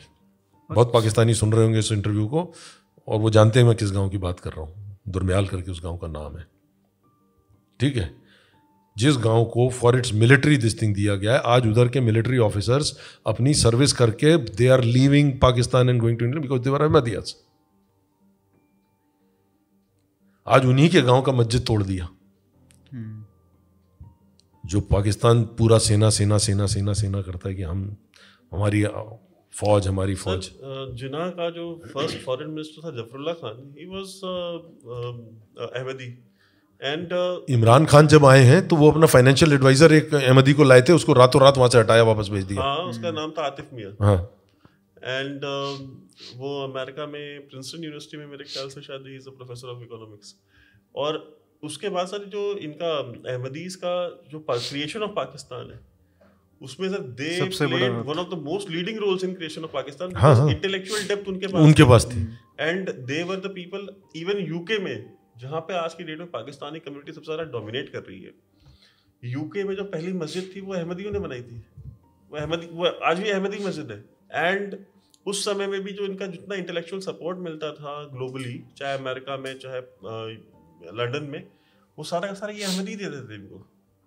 बिकॉज़ सर ये जो जो गवाल मंडी के और ओकाड़ा के और इधर ना सियालकोट के ये जो थे इन सर इनके पल्ले ही कुछ नहीं था। And they basically got the prominence after Jinnah died and after Ayub Khan took over फिर वो करते करते अगले 20-25 साल में बेचारे ये नीचे से ऊपर आए। हैं। हाँ नाउ दे हैव एक तरीके से कहते हैं तो पिंडी पे पूरा कब्जा कर रखा है। नाउ आप देखिए कि मुशर्रफ के बाद इवन मुशर्रफ के टाइम पे भी basically what they did they started consolidating power all this Punjabi generals Pakistani Sunni Punjabi generals इन्होंने यही काम किया। और इनको जो फैज हमीद को और इनका जो झगड़ा हुआ हम्म, ये जो on the appointment of the army chief Saudi embassy Islamabad में जो डिफेंस अटैचे था उसको फैज हमीद ने अपना एक सर्विंग कर्नल पाकिस्तान आर्मी का जो आईएसआई में है who was stationed in Saudi Arabia उसको बुलवाया वहाँ से रियाद से। उसको बुलवाया उसको बोला कि तुम जा करके बिकॉज़ उसका भी नाम चल रहा था द लिस्ट ऑफ़ प्रोबेबल्स तो उसने कहा कि जा करके डिफेंस अटैचे को बोल दो कि ये जिसका नाम चल रहा है ना आसिम मुनीर का। बिकॉज़ ये सैयद है तो बोल दो कि ये शिया है। ठीक है? तो and it will be believable because उसका जो पूरा नाम है आसिम मुनीर का वो सैयद आसिम मुनीर शाह है। तो कहे कि वो बिलीव भी कर लेंगे। अ, ये रहा उसके डॉक्यूमेंट्स हम्म।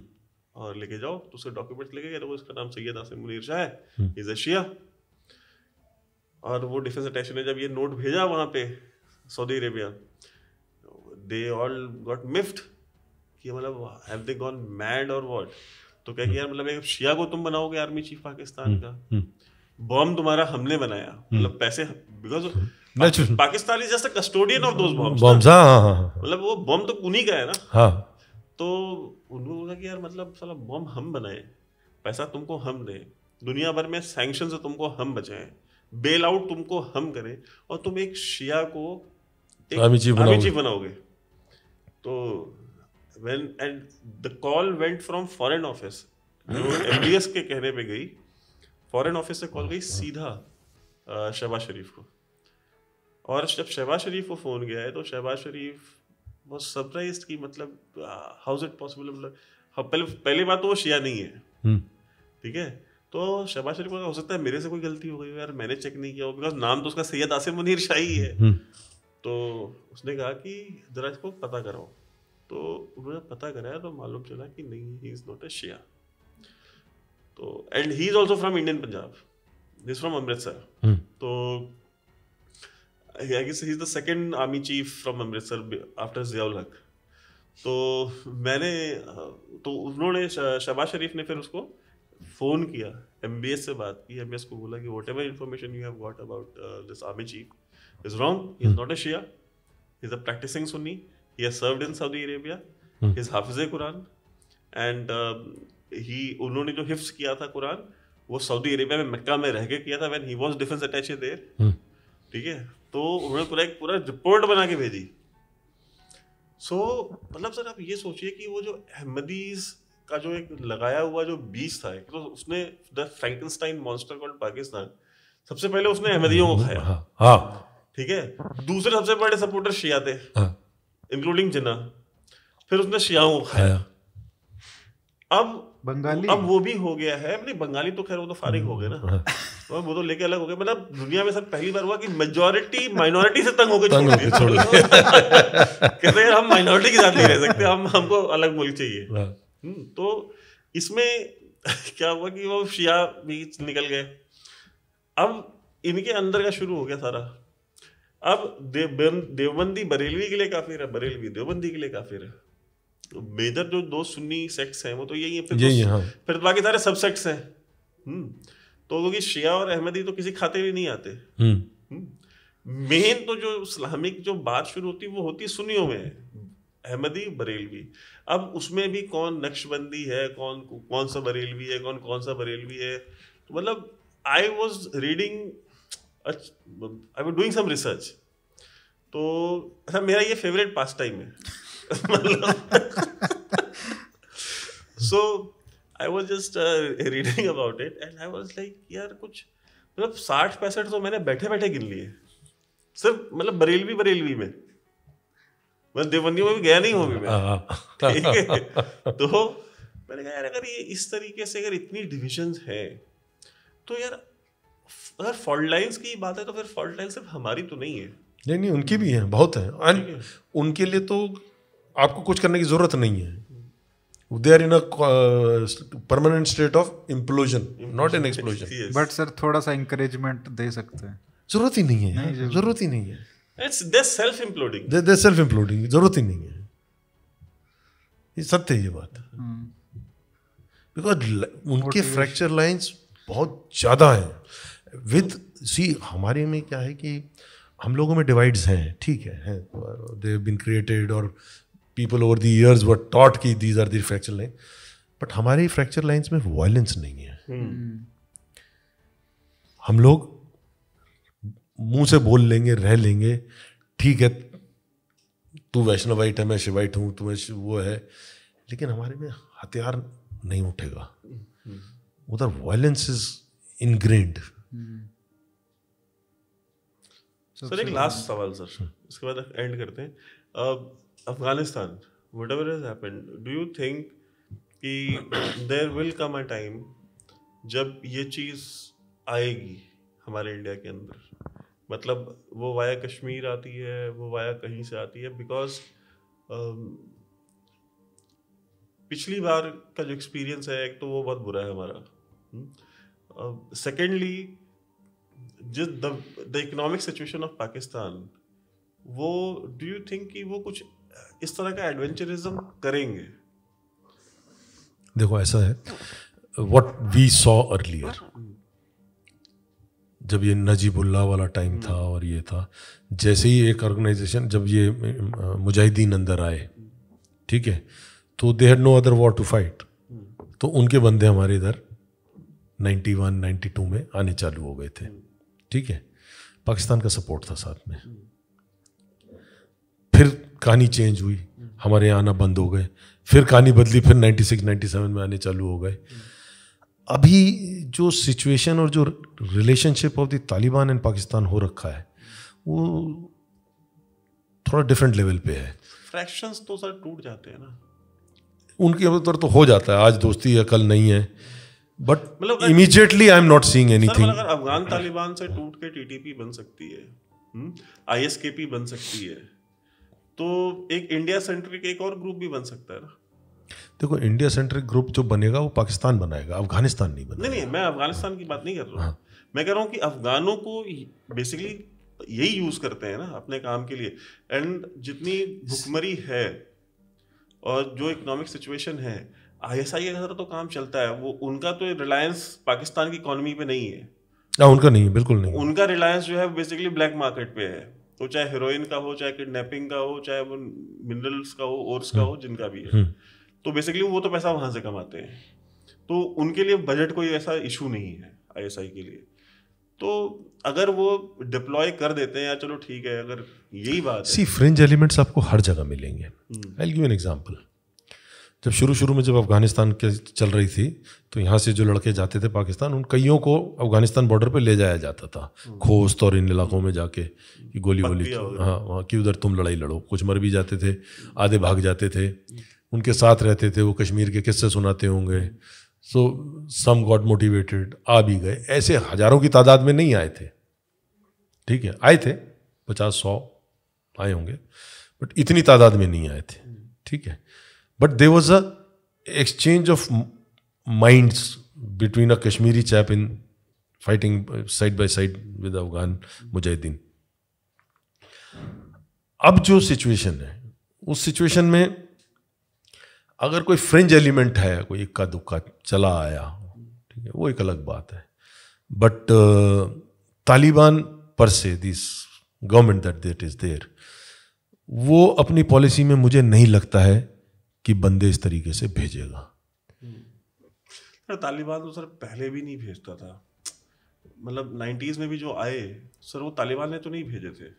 तालिबान का तो सीधा सा फंडा है सर कि आप हमारे आप आप हमको मत बताओ क्या करना है हम आपको नहीं बताते क्या करना है। हाँ। आप हमको मत बताओ हमको अपने देश को कैसे रखना है हम आपको नहीं बताएँगे। That that's all they ask for that's all they ask for but I see वही मैं कह रहा हूँ ना ओनली फ्रेंच एलिमेंट्स वो फ्रेंच एलिमेंट्स कहाँ के हैं? वो अफ़गानिस्तान से नहीं है। वो वो जो कैंप्स में है। अफगान वाले जो पाकिस्तान के डिफरेंट कैंप्स के अंदर बैठे हैं अफगानिस्तानी। ठीक है? वो वहाँ से उठाते हैं। वो जो मदरसे वाले again the whole story starts again from the same मदरसा। जो मदरसे का पेशावर वगैरह हाँ ये वहाँ से उठा के लाते हैं इन बच्चों को। उनको तैयार करते हैं। बिकॉज़ अदरवाइज़ जो उनके पास रिक्रूटमेंट सोर्स रिसोर्सेज थे अफ़गानिस्तान प्रॉपर के अंदर अब वो नहीं है अब वो नहीं है। बट इनका पता नहीं चलता ये किस तरफ़ कब कहाँ बैठ जाए इन लोगों का। Thank you so much sir for coming and I hope that हम एक बार और सर एक दो तीन महीने में करना चाहिए हमको मतलब। मतलब हार्ट टू हार्ट कॉन्वर्सेशन अगली बार अगली हैं। बार। खाने पे कर सकते हैं। Thank you so much Jai Hind दोस्तों।